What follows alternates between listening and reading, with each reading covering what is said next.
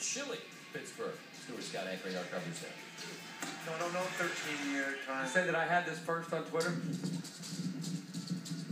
Welcome back to our coverage of Monday Night Football. The Pittsburgh Steelers in overtime beat the Kansas City Chiefs. They they get a win, but they also may suffer a loss. Rick Reilly joins us now.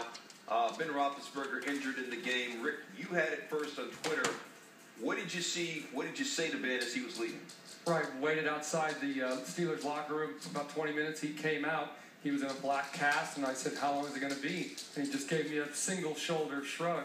I said, "How much did it hurt?" He went like this. He left with his wife. They went to the hospital, went to got an MRI. Steelers are a little worried in that locker room. Uh, for one thing, Leftwich throws the hardest ball in the league, according to Mike Wallace. Here's a bunch of Steelers talking about it in the Steelers locker room.